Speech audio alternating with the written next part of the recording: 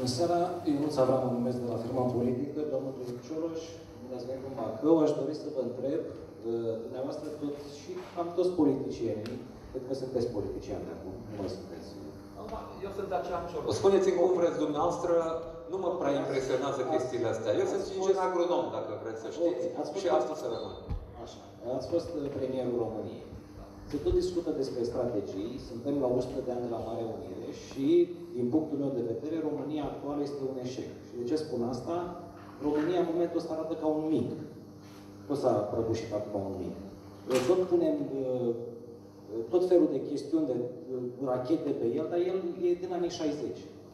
Oricât de strategii, oricât IT, oricât interconectare între instituții ați face și ați făcut, Până nu vom face regionalizare în România pe bune, noi nu ne vom dezvolta niciodată. Și vreau să vă întreb dacă aveți cumva în platforma noastră politică, care va fi, sau aveți de gând, dar cu termene clare. Adică, domnule, am ajuns la guvernare, preluăm puterea și într-un an de zile ne ocupăm de chestiunea asta. Pentru că s-a tot discutat de la guvernul Boc încoace, fiecare discută, dar nu se ajunge niciodată până la final. Și nu ne vom dezvolta niciodată. Doar vom cârpi o Românie care funcționează ca în 1960.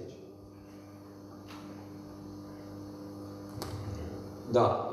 Noi în programul politic avem mai mult decât uh, regionalizarea. Prima temă, deci programul va fi structurat pe șapte mari teme uh, prioritare. Nu sunt teme sectoriale, pentru că nu vrem abordare uh, sectorială pe bucățele, așa cum sunt structurate ministerele și, în primul rând, vreau să precizez va fi ceea ce noi vom propune în toamnă, va fi un program politic, nu va fi încă un program de guvernare. În sensul că acolo vor fi temele uh, prioritare, vom spune ce vrem să facem și cum ne-am gândit să facem.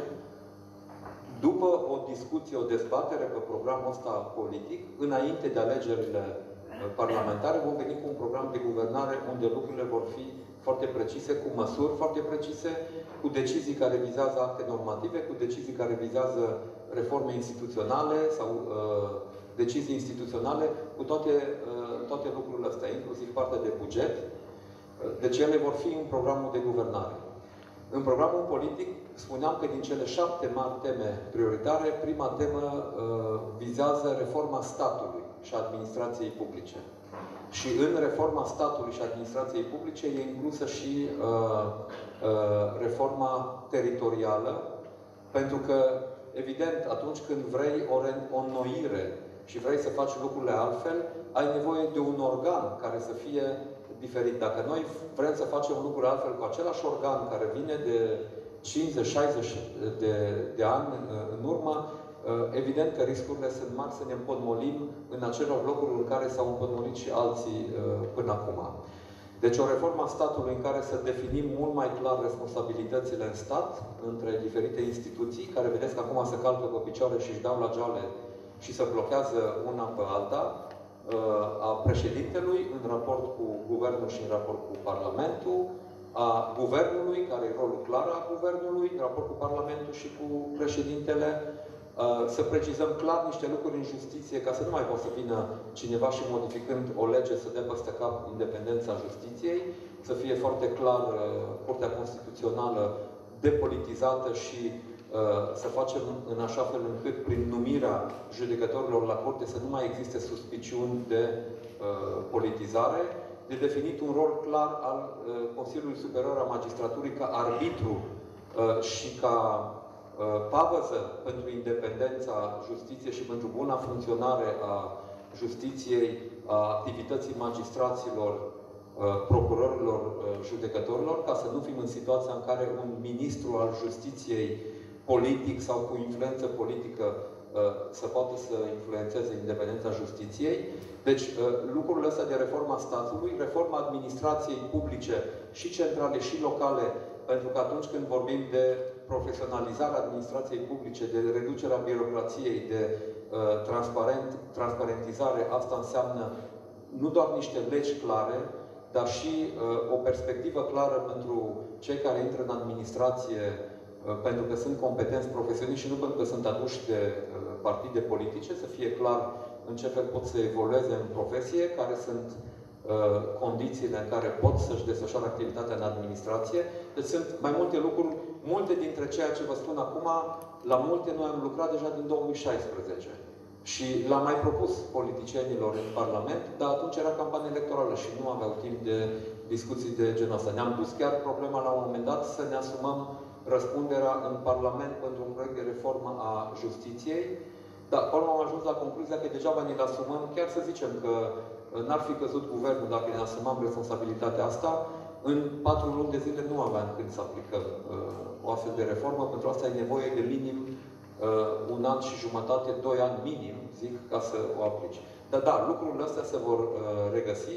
Deci o reformă uh, teritorială în care uh, de organizare teritorială în care trebuie să ne gândim uh, serios și la asta, ne, asta analizăm acum, dacă are sens să venim să, să adăugăm un nou strat, cel regional, păstră uh, organizarea comunelor, orașelor, municipiilor, județelor și să mai adăugăm încă un strat, sau dacă n-ar trebui să ne uh, gândim, poate să revedem conceptul de județ, sau să-i spunem regiune, dar să avem uh, structuri mai simple și mai clare de uh, organizare, să ne gândim la a încuraja cooperarea intercomunală între municipalități, între orașe și comune, pentru a investi pe anumite proiecte în comun, chiar că nu venim obligatoriu la început cu fuziunea unor uh, unități administrativ-teritoriale, să venim cu proiecte de incitare clară a colaborării între uh, diferite comune,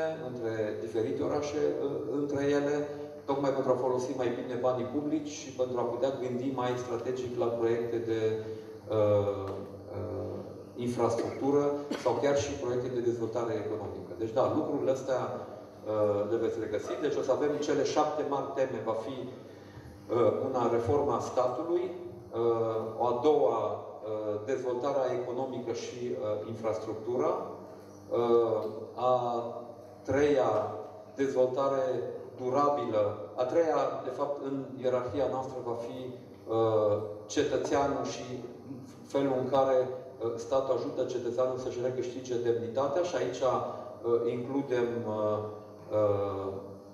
partea de educație, de sănătate, de cultură, de politici sociale, pentru că toate lucrurile astea sunt legate între ele. Apoi, tema 4, legată de dezvoltarea durabilă, de politicile de bună gestiune a resurselor naturale, care țin de agricultură, care țin de mediu, care țin și de patrimoniu, resurse în general, de patrimoniu și de cultură și uh, turism.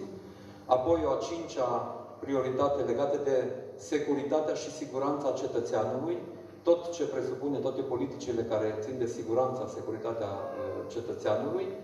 Apoi a cincea temă legată de România în Uniunea Europeană și în lume, și aș, deci a șasea temă și a șaptea uh, temă legată de impactul pe care noile tehnologii uh, o să-l aibă sau îl au deja asupra dezvoltării economice și sociale. Și aici avem și un impact pozitiv, cum folosim noile tehnologii ca să ameliorăm uh, economia și uh, serviciile publice, uh, politicile sociale, dar și cum ne pregătim asupra riscurilor care vin din robotizare, de exemplu, din automatizare, impactul pe care pot să-l aibă asupra locurilor de muncă, asupra structurii economiei, uh, asupra modului în care societatea se organizează, toate lucrurile astea trebuie uh, prevăzute ca să nu fim tot timpul reactivi și să ne pregătim din timp de lucrurile astea. Deci toate temele astea, cum ați văzut, sunt teme transversale, transsectoriale, pentru că Uh, pornim de la ideea că nu putem merge luând bucățică cu bucățică, ci trebuie să vedem uh, lucrurile în interacțiunea lor. Deci lucrurile astea le veți găsi într-un program politic, care după o discuție, o dezbatere cu membrii, cu viitorii membri ai partidului, cu uh, comunitatea, îl vom rafina și îl vom dezvolta într-un program de guvernare pe care îl vom pune pe masă înainte de alegeri.